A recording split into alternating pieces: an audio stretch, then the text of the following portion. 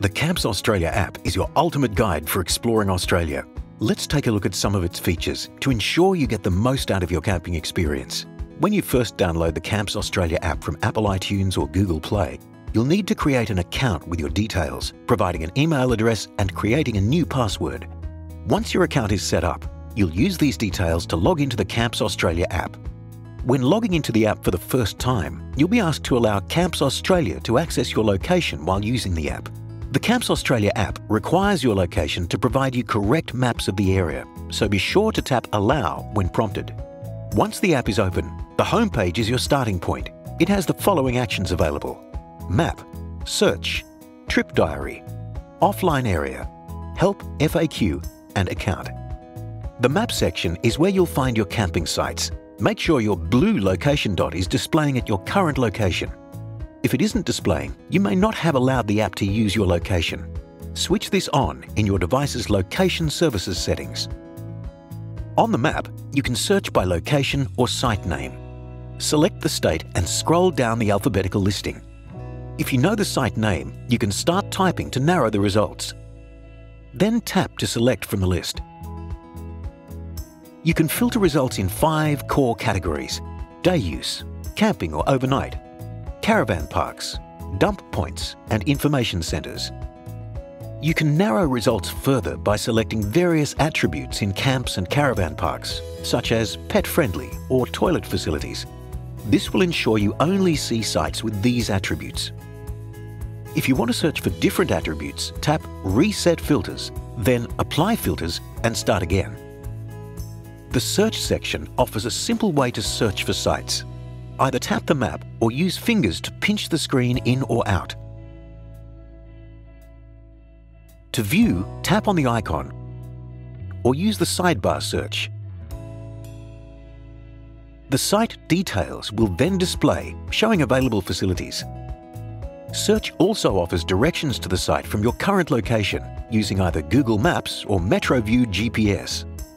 Note that Google Maps requires cellular or Wi-Fi service, and MetroView GPS, while not requiring a cellular service, is a third-party app sold separately on iTunes or Google Play.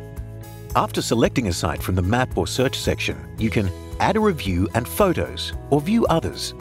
Give the site a star rating. Post any fees you paid to use the site. Share the site with friends view a five-day forecast of the local area, and provide feedback to us if there has been a change to the site's facilities.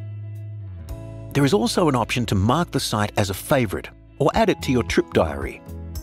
The Trip Diary is a service that lets you create a record of the places you've stayed and to plan ahead for your next destination. To start, tap Add New Trip and enter your trip name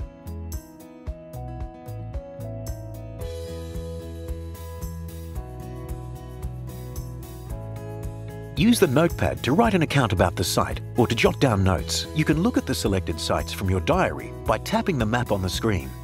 Once you have entered your trips, you can tap the map icon to view the whole trip.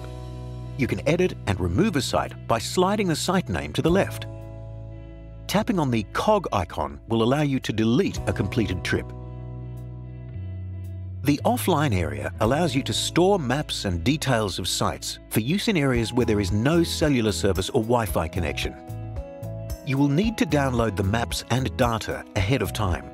This download process can take up to 15 minutes to complete with a good connection, and it's recommended that you download state by state.